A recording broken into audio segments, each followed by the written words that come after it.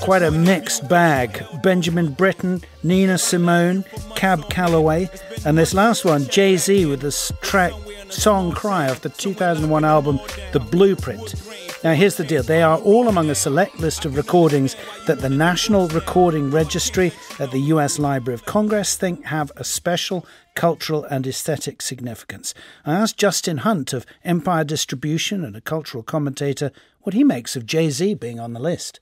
I think it's amazing, especially for that project. Uh, you know, the Blueprint was a standout album for a number of reasons. Culturally, it came out on 9 11. So it was one of the only things that actually stood out in the culture on such a, dare I say, notorious day, if you will. But for Jay Z's catalog, it also signaled some of the first real human evolutions that we saw in his storytelling away from the urban plight sort of conversation right? It signaled his growth into business and entrepreneurship. In my view, for the first time, really gave a glimpse of who Jay Z was in some of his interpersonal relationships. Songs like Song Cry really delved into the challenges that he was having in life and love in ways that we hadn't seen before.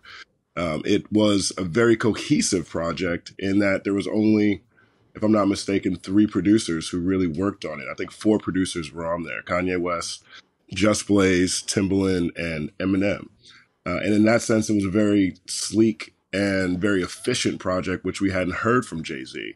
And it reintroduced soul samples in a broad mass awareness uh, package, uh, which was also the signaling of a changing of an era, uh, one that Kanye West was instrumental in ushering in in the 2000s how would you compare it in in the uh, in the legacy sense with another couple of uh, hip hop inductees on this National Recording Registry list, Public Enemy's "Fear of a Black Planet" and Grandmaster Flash and the Message? You know, I think what's interesting is that if there are seminal albums or seminal projects from each era, the Message is one of those. Absolutely, uh, "Fear of a Black Planet," absolutely.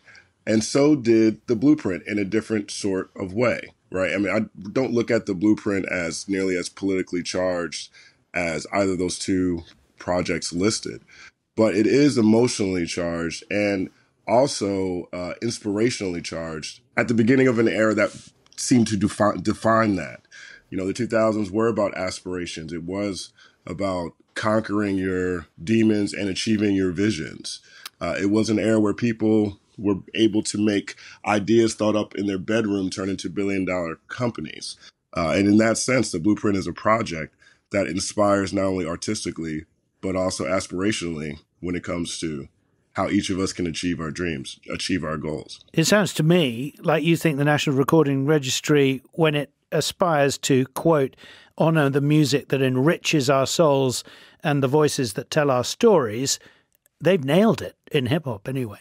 I definitely think so. I mean, look, I look at a song like Renegade that's on the blueprint, right? And Eminem's verse gets a lot of credit because it's phenomenal. But Jay Z's verse to me really speaks to an era. You know, there's a line in there where he goes, No, Ma, no, I chose my own fate.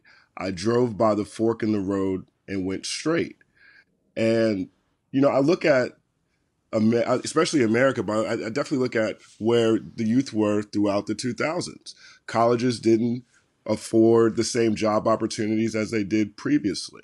You know, you had technological advancements that are taking away from traditional job opportunities. Everybody's family lost their home in the Great Recession. In a sense, all of us, in order to make it through that, had to drive through the fork in the road and go straight. It's powerful.